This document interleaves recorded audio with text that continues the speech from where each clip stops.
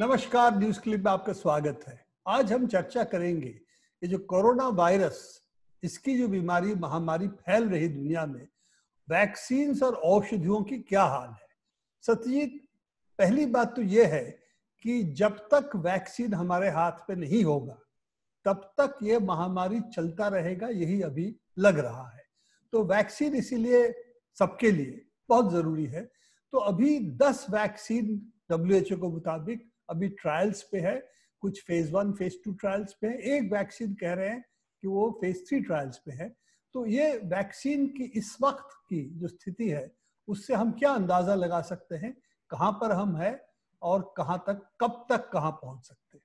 तो सीधे उत्तर से शुरुआत करते हैं।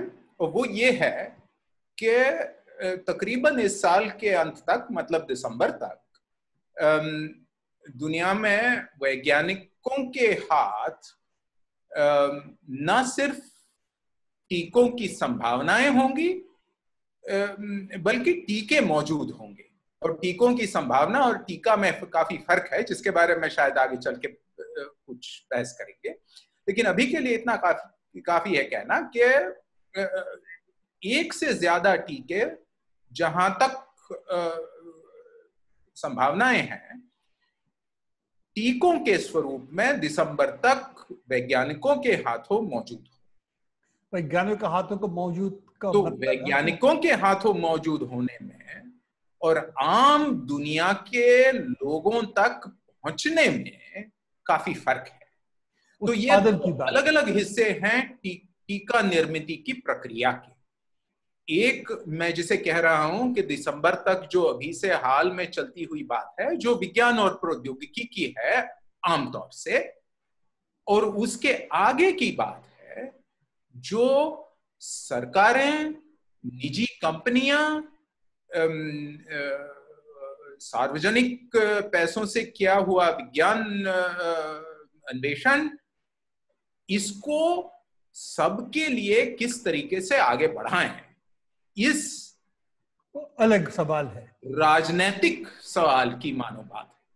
ठीक है तो हम दो हिस्से में इसको बांटते हैं। एक तो है आपने जो बात किया कि वैज्ञानिक के वैज्ञानिकों के हाथ में टीके होंगे इसका मतलब जो phase one phase two phase three trials की बात हो रही है जिसकी चर्चा डब्ल्यूएचओ की वेबसाइट पे मिलता है कि 10 टीके इस वक्त इस स्थिति में है कि वो phase one phase two trials phase एक टीका तो फ़ेज़ थ्री ट्रायल्स की भी बात कर रहा अस्ट्राजेनका जो है तो सीरम इंस्टीट्यूट पुणे के साथ जिनकी संबंध है, वो तो ये भी बात कह रहे हैं कि हम इसको फ़ेज़ थ्री ट्रायल्स पे अब चले गए हैं तो ये phase one phase two phase three trials को जरा समझाएँगे, क्या है क्या है?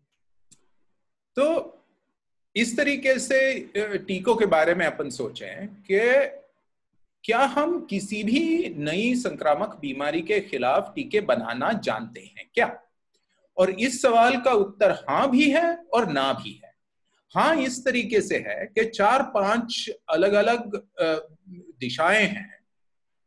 कुछ 200 साल पुरानी है, कुछ चंद, पंद्रह बीस साल पुरानी है। लेकिन पाँच अलग अलग तकनीक हैं, प्रौद्योगिकियाँ हैं, दिशाएँ हैं, जिनके ज़रिए परिणाम कारक टीके बन सकते हैं। लेकिन ये हुआ हाँ वाला उत्तर। हम्म। परेशानी ये है कि वैज्ञानिक अभी तक ये पूरे विश्वास के साथ कह नहीं सकते कि इस तरीके से इस बीमारी के खिलाफ यूँ टीका बनाए तो बिल्कुल गुणकारी होगा। ये पूरे यकीन के साथ कहने की आज वैज्ञानिकों में क्षमता है नहीं। सक्सेस इज़ नॉट एश्योर्ड इसका मतलब है कि सक्सेस इज़ नॉट एश्योर्ड जी जी। दावे के साथ नहीं कह सकते। दावे के साथ बिल्कुल नहीं कह सकते। तो इसलिए ज़ाहिर है कि एक ओर से बड़ी तेज रफ्तार से इन सारी दिशाओं में से टीकों की तलाश जारी है। मतलब कि लोगों ने इनका इस्तेमाल करके पाँचों किस्म के टीके बनाए हैं। डेढ़ एक सौ गुट हैं दुनिया भर में जिन्होंने आमतौर से इन पाँच तकनीकियों को लेकर टीके बनाए। लेकिन क्या ये टीके सचमुच असर करते असरदार हैं या नहीं इसकी जाँच करनी पड़ेगी। जाँच के तीन कदम है मान लीजिएगा। पहला कदम तो ये है कि छोटे जानवरों में चूहों में आमतौर से टीके दे दें और चूहों के खून में जो टीके के खिलाफ एंटीबॉडीज पैदा होती हैं हिंदी में प्रतिपिंड कहते हैं लेकिन अपन के लिए एंटीबॉडी कहना ज़्यादा आसान है। ज़्यादा आसान है। तो ये जो एंटीबॉडीज पैदा होती हैं क्या ये विषाणु के संक्रमण को रोकने वाली एंटीबॉडीज हैं या नहीं? क्या सुरक्षादायी एंटीबॉडीज हैं या नहीं? क्या प्रोटेक्टिव एंटीबॉडीज हैं या नहीं? इसकी जाँच करें। तो मेरे ख्याल से डेढ़ सौ में से सौ एक गुटों ने ये चूहों ने, चूहों में, जाँच तलाश कर रखी है और यहाँ तक आए हैं कि चूहों में अगर उन्होंने जो टीका स्वरूप बनाए हैं, वो दे दें तो इस तरीके की सुरक्षादायी एंटीबॉडीज चूहों में पैदा होती है। ये हुआ पहला कदम। लेकिन इसके बाद के जो कदम है वो इंसानों को लेकर है। कि इंसान में टीका असरदार है या नहीं। तो असरदार होने के पहले इंसानों में इस सवाल का उत्तर मिलना चाहिए कि क्या इंसानों को देना बिना खतरे का है या नहीं? सेफ़ है या नहीं? हाँ। तो ये पहला कदम हुआ। तो ये जो आप डब्ल्यूएचओ का डब्ल्यूएचओ के बयान का जिस ज़िक्र कर रहे हैं, उस बयान के अनुसार दस से ज़्यादा गुटों के उम्मीदवार टीकों ने वैक्सीन कैंडिडेट्स कहें तो उम्मीदवार टीके कहें तो उम्मीदवार टीकों ने ये कदम भी पार किया है कि चंद एक बिल्कुल स्वस्थ जवान इंसानों में स्वयं से सेवी इंसानों में वॉलंटियर्स में ये उम्मीदवार टीके दिए गए हैं और यहाँ तक बात आई है कि उनमें कोई दुष्परिणाम दिखाई नहीं दिए। सेफ़ है। सब टीके अभी तक जो टेस्ट हुए हैं दस टीके सेफ़ है अभी तक। तो मेरे ख्याल से दस से भी शायद ज़्यादा होंगे लेकिन दस के आसपास डब्ल्यू एच का लिस्ट में इस वक्त दस ही दिखाई पड़ रही है। और तो भी कुछ हो सकते ये ये हुआ बहुत पहला प्राथमिक कदम टीकों के इंसान में जाँच का। तो ये जो दूस, दूसरा कदम है इंसानी जाँच का कि ये देखें कि तकरीबन सारे लोगों में जिन्हें ये उम्मीदवार टीके दिए गए हैं उनमें सही मात्रा में, सिर्फ़ चुटपुट मात्रा में नहीं, बल्कि अच्छे, अच्छी खासी मात्रा में सुरक्षादायी एंटीबॉडीज पैदा होती हैं या नहीं। अगर ऐसी एंटीबॉडीज पैदा होती हैं और दो तीन गुटों ने दावे किए हैं कि वो यहाँ तक भी पहुँचे हैं कि इस तरीके से 25-30 लोगों में वॉलंटियर्स में उन्होंने जाँच करी हुई है और ये जो सुरक्षादायी एंटीबॉडीज हैं, ये अच्छी मात्रा में पैदा होती हैं। तो यहाँ तक तो मानने की बात है। क्या मानने की बात है कि जो जिस एंटीबॉडी के गुणधर्म को हम सुरक्षादायी कह रहे हैं, वो सचमुच बीमारी के खिलाफ सुरक्षादायी है। अब भला इसका क्या सबूत है? तो इसके सबूत के लिए अगला कदम लेना पड़ेगा। ये जो अपन ने, आपने जो ज़िक्र किया ना कि फ़ेज़ वन फ़ेज़ टू और फ़ेज़ थ्री होते हैं क्लिनिकल ट्रायल के इंसानी जाँच के तो इंसानी जाँच का पहला कदम फ़ेज़ वन जो सुरक्षा की जाँच का है, जो सेफ्टी का है। दूसरा कदम जो है सो इम्यूनोजेनिसिटी का है, जिसे मैंने कहा कि क्या इंसानों में सही मात्रा में प्रोटेक्टिव एंटीबॉडीज पैदा होती है। और तीसरा कदम होना चाहिए। सो ये है कि क्या अगर बहुत बड़े इंसानों के गुटों को ये उम्मीदवार टीके दिए गए हैं और सिर्फ़ ये देखा गया कि एक गुट को आपने टीका दिया है, दूसरे को ये उम्मीदवार टीका दिया है, दूसरे को नहीं दिया, अब इन दोनों में सिर्फ़ इतना देखें कि कितनी मात्रा में कोविड 19 की बीमारी पैदा होती है उसके बाद में। तीन महीनों में देखिएगा, छह महीनों में देखिएगा, साल भर में देखिएगा। अब ज़ाहिर है कि कोविड 19 का फैलाव जितने बड़े पैमाने पर होगा उतनी छोटे वक्त में फ़ेज़ थ्री ट्रायल्स कर पाएँगे। ये नतीजे हाथ में आ जाएँगे जिन पे यकीन कर सके। लेकिन एक परेशानी यहाँ यूँ है कि अपन सब अपनी अपनी सरकारों से दुनिया भर में इस उम्मीद में है कि सरकारें ऐसे उपाय करें सार्वजनिक नीति नियमों के ऐसे उपाय करें जिनकी वजह से फैलाव की रफ्तार कम हो। कोविड उन्नीस के बीमारी की फैलाव के रफ्तार कम हो। तो एक और ये कोशिशें हैं कि कोविड उन्नीस के फैलाव की रफ्तार कम हो। दूसरी ओर उम्मीदवार टीकों की जाँच का मसला है, जहाँ जैसे जैसे कोविड उन्नीस की फैलाव की रफ्तार कम होते जाएगी वैसे वैसे जाँच की अवधि बढ़ती जाएगी। क्योंकि बहुतेरी केसेस तो निकलनी चाहिए। बगैर टीके वाले में संख्या की बात है। कहोगे कि टीके का असर हो सही सचमुच होता है या नहीं? ये संख्या की बात है अगर संख्या, संख्या की बात। होता है तो इस वजह से अभी बड़ी अनिश्चितता है कि कहा मतलब दुनिया में कहा किस शहर में किस इलाके में ऐसी जांचें करे कि वहाँ पे कोविड 19 के फैलाव की रफ्तार अच्छी हो मैं अच्छी हो थोड़े व्यंग से कह रहा हूँ हमारे लिए हमारे लिए तो समाज के लिए तो वो अच्छी नहीं है लेकिन जाँच के लिए इस संदर्भ में अच्छी कह रहे हैं ऐसा नहीं कि अच्छी ये चीज़ अच्छी चीज़ है।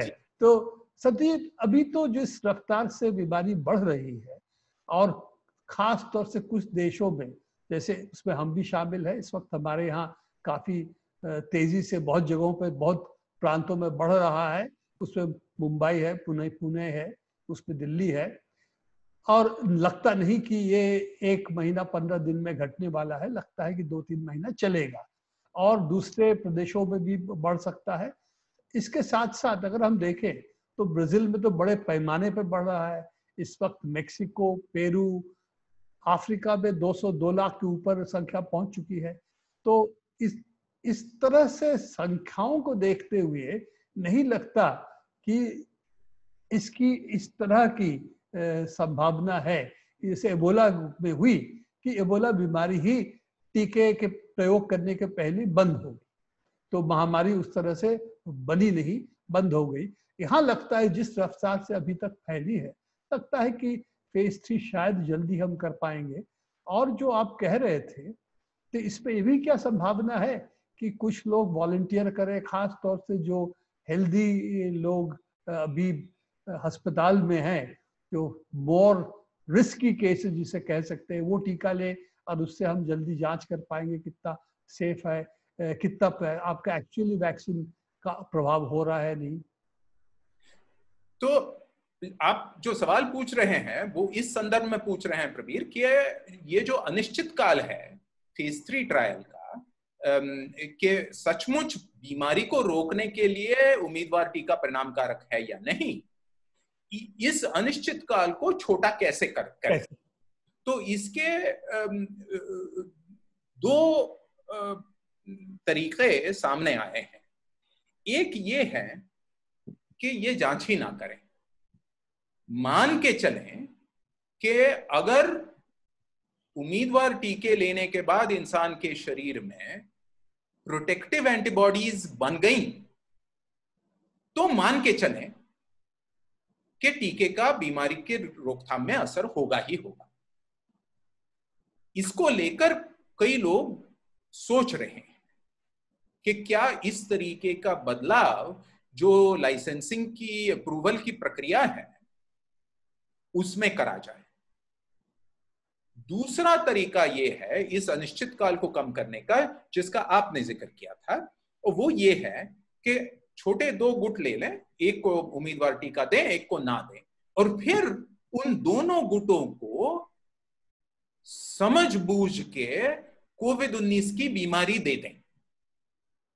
तो हर एक को होनी है, और फिर ये मालूम पड़ेगा जिस जिस गुट में टीका नहीं है, उस गुट में तकरीबन हर एक को होनी है, जिस गुट में टीका उम्मीदवार टीका दिया गया है उस गुट के बारे में प्रश्न करें कि क्या आ, आ, संख्या काफ़ी पैमाने पर कमी कम होगी।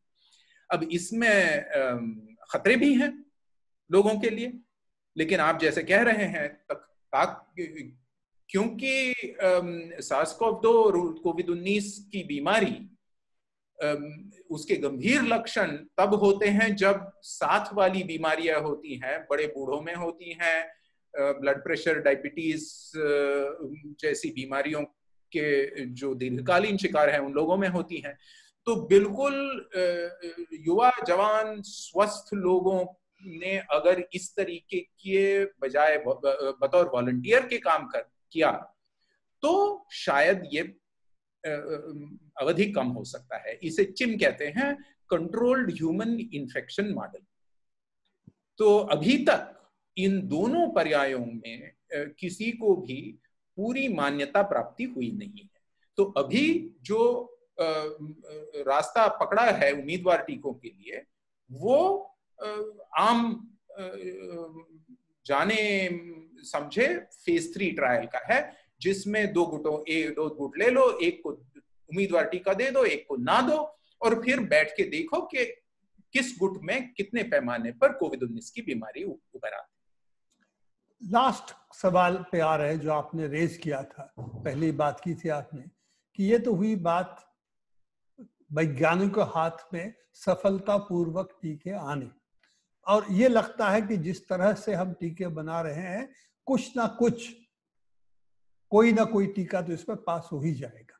कितना अच्छा होगा, कितना कितना प्रोटेक्शन देगा, इसको हम मालूम करने में वक्त लग सकता है, पर कुछ ना कुछ प्रोटेक्शन बीमारी को कम करना है तो हो ही जाएगा। वो तो अभी इन दस टीकों के रिज़ल्ट से भी अंदाज लग रहा है।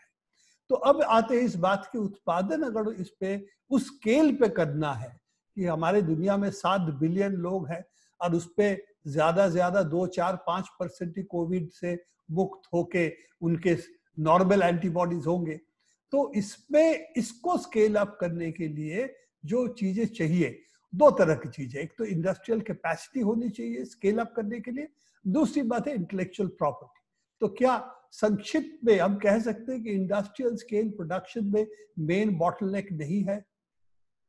तो अब संक्षेप में कहना तो बड़ा मुश्किल है, लेकिन कोशिश ज़रूर करते हैं। तो तीन मुद्दे अपन ने याद रखने चाहिए। पहला मुद्दा ये है कि मैंने जो शुरुआत में ज़िक्र किया था कि अलग अलग तकनीक हैं टीके बनाने के। उस हर एक तकनीक को लेकर बड़े पैमाने पर टीके, टीकों का निर्माण करना इंडस्ट्रियल प्रोडक्शन करना कुछ के लिए आसान है, कुछ के लिए आसान नहीं है। तो ये एक बात भी हमने ध्यान में रखनी चाहिए। दूसरी बात जो आपने उठाई सो इंटेलेक्चुअल प्रॉपर्टी राइट्स पेटेंट की। तो सारे टीके तो पेटेंट से बंधे हुए होते हैं इस आजकल के जमाने में। तो ज़ाहिर है कि जितने टीकों का डब्ल्यूएचओ के बयान में ज़िक्र है, उन सब टीकों में निजी कंपनियाँ प्राइवेट सेक्टर कंपनियाँ उनकी शिरकत है, उनकी पार्टनरशिप है। तो उनके लिए तो मुद्दा मुनाफे का है। तो कितना मुनाफा उनके लिए जायज़ होगा, कितना नाजायज होगा, ये बातचीत से तय होगा और बातचीत से बात आगे जाएगी। उस बातचीत में दुनिया भर की सरकारें कितना मनोबल जुटाएँगी, ये अभी तक बात साफ़ नहीं। और तीसरा मुद्दा ये है सती, इस पर मैं इंटरप्ट कर रहा हूँ आपको कि देखिए, टीके बनाने से हमको तो आता है। अगर मालूम पड़ता कि ये टीका सक्सेसफुल है, उसको कॉपी करना किसी भी देश के लिए मुश्किल नहीं है। तो पेटेंट्स पे रोक, रुकावट क्यों हो? क्योंकि सब देश में कंपल्सरी लाइसेंसिंग की प्रावधान है। दोहा की डिक्लेरेशन जो थी डब्ल्यू की उसमें भी साफ़ लिखा गया है, कहा गया है कि अगर महामारी है हेल्थ इमरजेंसी है तो कंपल्सरी लाइसेंसिंग करने में कोई त्रास नहीं है और कोई भी देश किसी विदेशी कंपनियों से भी उस कंपल्सरी लाइसेंस से दवाई या वैक्सीन बना सकता है। तो क्यों कंपल जब ये हथियार हमारे हाथ पे है, रुकावट किस बात की पेटेंट्स की? तो मैंने संक्षेप में बात, इसी बात को, का निर्देश किया था, क्योंकि व्यावहारिक सवाल ये है कि ये जो संसाधन हाथ में है जिनका आप निर्देश कर रहे हैं उनको इस्तेमाल करने का मनोबल क्या सरकारें जुटाएँगी? राजनीतिक सवाल है ये। राजनीतिक सवाल है। इस राजनीतिक सवाल में अगर सरकारों का मनोबल बनाना है तो हम सबने बनाना है। ये कह के बतौर नागरिकता के कि यूँ होना चाहिए। और इसमें बतौर टिप्पणी के एक तीसरी बात कहता हूँ। वो ये है कि निजी कंपनियों के लिए भी महामारी के दरमियान मुनाफाखोरी करना भैया ठीक दिखता नहीं है। भले ही चाहिए हो लेकिन ठीक दिखता नहीं है। तो उसलिए कुछ तनिक दिखावा तो करना पड़ेगा। वो भी सही है। इसे कारपोरेट सोशल रिस्पॉन्सिबिलिटी कहते हैं सीएसआर कहते हैं इस दिखावे को। तो बिलगेट साहब से लेकर आदर पूनावाला साहब यहाँ पूना में सब निजी कंपनियों के बनाने वाले लोग जाँच पड़ताल में शरीक होने वाले लोग, इस कारपोरेट सोशल रिस्पॉन्सिबिलिटी में लगे हुए हैं कि किसी हद तक उतना बुरा ना दिखे। और ये बात शर्मो हया की बात, दुनिया की लोगों के ओर से टीकों का लोगों तक पहुँचना आसान करने में मदद करेगी। ये बात सही है आपकी, पर फिर भी आप देख ही सकते हैं कि जो एड्स महामारी में जो हुआ था कंसेशन रेट जो निजी कंपनियों अमेरिका या यूरोप में है, उनका समझ और हमारा समझ बिल्कुल भिन्न है। तो उनको तो था कि साल का दवाई, चार हज़ार डॉलर उनको लगा था कॉन्सेशनल है, क्योंकि वो अपने देश में ग्यारह से पंद्रह हज़ार डॉलर में बेच रहे थे, वही दवाई पर हमारे लिए चार हज़ार डॉलर एक साल की अगर दवाई हो तो वो तो हमारे लिए माफिक क्या मौत की संदेश लाता है। तो इसीलिए एड्स के लेके जो राजनीतिक सवाले खड़े हुए थे दोहा डिक्लेरेशन उसी के तहत आया था। और उसी लिए अभी भी जो अखबार से लेकर हर जगह पे ज़िक्र हो रहा है कि इस महामारी में एड्स जैसा रवैया निजी कंपनियाँ ना अपनाए, क्योंकि ये उनके लिए और पूंजीवाद के लिए अच्छा संदेश नहीं लाएगा। वो तो बात है, पर इस पे तो ट्रंप साहब भी शामिल है। उन्होंने एस्ट्रोजेनका को एक बिलियन डॉलर दिया है, मॉडर्ना का और भी एक बिलियन डॉलर दिया है वॉर्प स्पीड वैक्सीन की प्रोग्राम के तहत। और ये भी कह रहे हैं कि पहला दवाई हमें मिले चाहे आप अमेरिकी कंपनी हो, चाहे आप फ्रेंच कंपनी हो, चाहे आप अंग्रेज़ का, यूके कंपनी हो, हमको पहले दवाई मिलना चाहिए, वैक्सीन मिलना चाहिए और वो निर्धारित करेंगे किस किस दाम पे वो दूसरे जगहों पे बेच सकते हैं, क्योंकि अमेरिका इसको एक राजनीतिक हथियार के रूप में भी अपनी लड़ाइयों में देखना चाहता है, लग रहा है। ट्रंप ट्रंप की बातचीत से मैं अपनी बात नहीं कह रहा हूँ यहाँ पर। मेरा विचार तो खैर साफ़ है और आपकी भी। पर ये ट्रंप साहब के खुद की बा, बात है ये है। और इसमें इसीलिए अगर ये राजनीतिक मनोबल नहीं रहा तो हमारी हालत शायद इतना अच्छा नहीं होगा।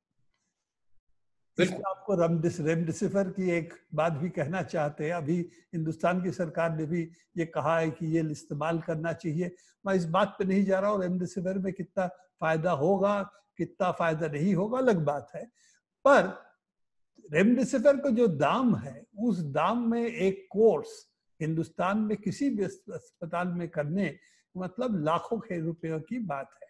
तो इसमें कंपलसरी लाइसेंस की बात अगर आप समझते अच्छी दवाई है तो आनी चाहिए। बिल्कुल आनी चाहिए। और अगर भारतीय आयुर्विज्ञान अनुसंधान परिषद आईसीएमआर कह रही है कि उन्हें पूरा यकीन है कि रेमडेसिविर बड़ी असरदार दवा है तो फिर उन्होंने सिर्फ़ तकनीकी रवैया नहीं अपनाने चाहिए।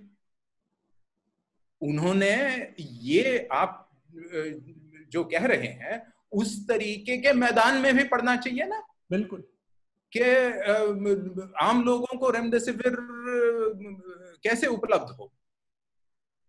तो जो आईसीएमआर ने करा हुआ है वो मैं तो ये कहूँगा कि इस दृष्टिकोण से बड़ा ही अपूर्ण है, बड़ा ही मर्यादित रवैया है।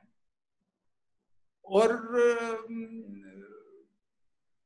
वो ये दिखाता है, जहाँ तक मैं समझता हूँ, कि सरकारी और प्रशासनिक मनोबल अभी तक उस सतह तक नहीं बंधा। जहाँ वो असरदार तरीके से निजी कंपनियों के साथ खींचतान में लोगों की ओर से पड़ सकता है। खास तौर से बहुराज्य निगमों के साथ जो खींचातानी है वो जो। संघर्ष करना है उसका मनोबल। और सही बात तो ये है कि हम U S T R three zero one पे हर साल धमकी खाते हैं और 2012 के बाद जो नेक्सवर जो कैंसर दवाई थी उसको हमने पेटेंट थे, उसका कंपलसरी लाइसेंस लाइसेंसिंग के तहत एक हिसाब से तोड़ा था। उसके बाद हमने यूएसटीआर के धमकियों से दोबारा इस तरह से कंपलसरी लाइसेंसिंग नहीं किए थे।